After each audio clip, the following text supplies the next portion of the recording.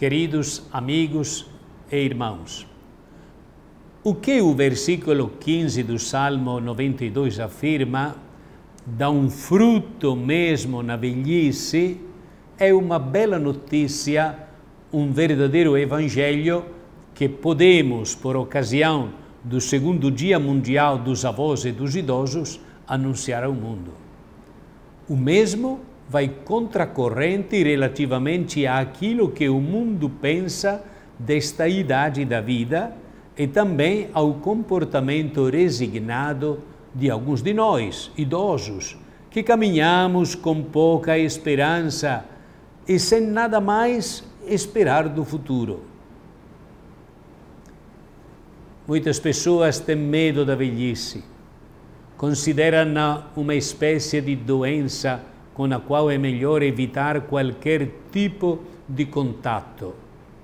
Que os idosos estejam o mais longe possível, talvez junto com uns, uns com os outros, em estruturas que cuidem deles e nos livrem da obrigação de nos ocuparmos das suas penas.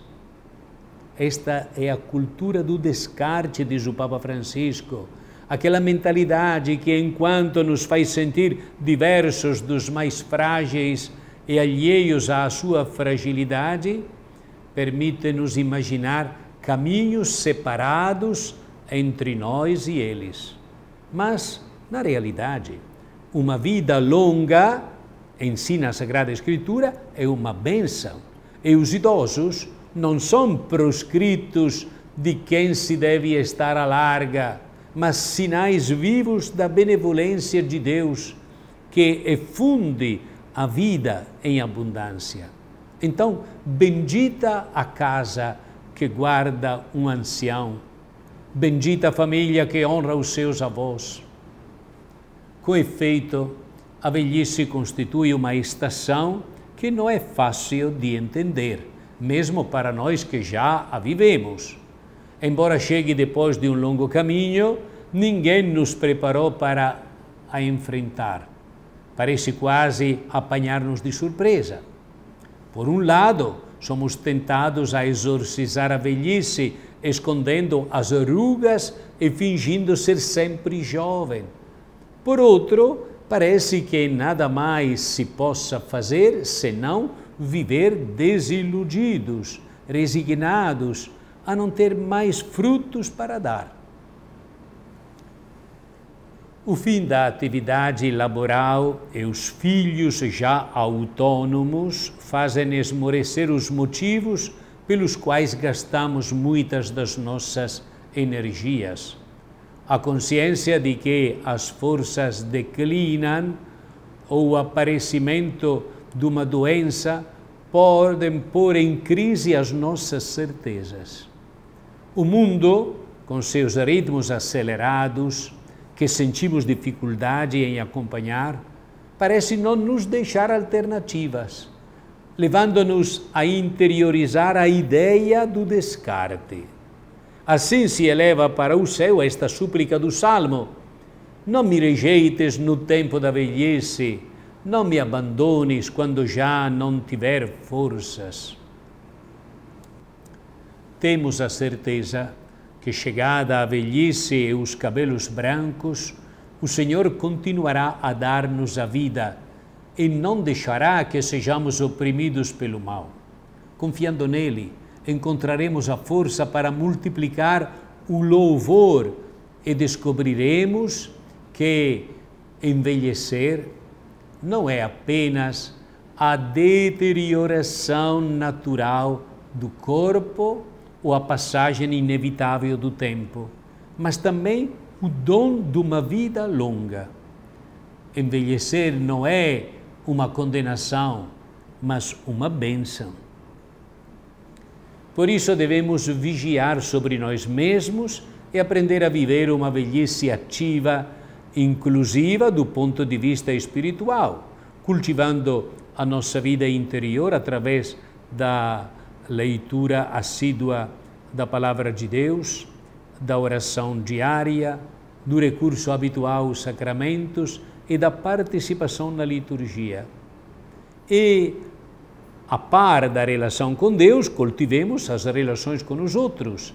Antes de mais nada, com a família, os filhos, os netos, a quem havemos de oferecer o nosso afeto cheio de solicitude. Bem como as pessoas pobres e atribuladas, das quais nos façamos próximo com a ajuda concreta e a oração. Tudo isto ajudará a não nos sentirmos meros espectadores no teatro do mundo, não nos limitarmos a olhar da sacada, a ficar à janela. Assim seremos uma bênção para quem vive junto de nós. A velhice não é um tempo inútil, no qual a pessoa deva pôr-se de lado recolhendo os remos para dentro do barco mas uma estação para continuar a dar fruto. Há uma nova missão que nos espera, convidando-nos a voltar os olhos para o futuro. E nós, avós e idosos, temos uma grande responsabilidade: ensinar às mulheres e aos homens do nosso tempo a contemplar os outros com, os mesmo, com o mesmo olhar compreensivo e eterno que temos para com os nossos netos. Aprimoramos a nossa humanidade ao cuidar do próximo. E hoje podemos ser mestres de um modo de viver pacífico e atento aos mais frágeis. Muitos de nós maturaram uma consciência sábia e humilde de que o mundo tanto precisa. Não nos salvamos sozinhos a felicidade é um pão que se come juntos. Testemunhemo-lo àqueles que se iludem de encontrar realização pessoal e sucesso na contraposição. Todos o podem fazer, mesmo os mais frágeis, até mesmo o deixarmos-nos cuidar, muitas vezes por pessoas que provêm de outros países é uma maneira de dizer que é não só possível, mas também necessário vivermos juntos. Na sua mensagem, o Papa Francisco diz: Queridas avós e queridos avós, queridos idosas e queridos idosos, estamos chamados a ser artífices da revolução da ternura. Façámo-lo aprendendo a usar cada vez mais e melhor o instrumento mais precioso e apropriado que temos para a nossa idade, a oração. A nossa imploração confiante pode fazer muito. É capaz de acompanhar o grito de dor de quem sofre e pode contribuir para mudar os corações. Deste modo, o Dia Mundial dos Avós e Idosos é uma oportunidade para dizer mais uma vez, com alegria, que a igreja quer fazer festa juntamente com aqueles que o Senhor, como diz a Bíblia, saciou com longos dias. Celebremos-la junto. O Papa nos convida a anunciar este dia nas nossas paróquias e comunidades.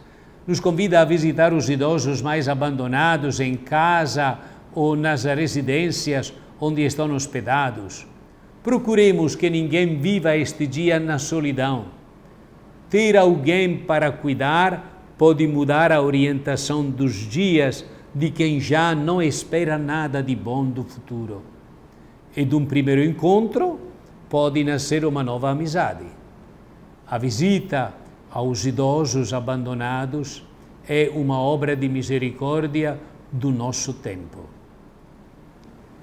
peçamos a Nossa Senhora, Mãe da Ternura, que faça de todos nós dignos artífices da revolução da ternura, para juntos libertarmos o mundo da sombra da solidão e do demônio da guerra.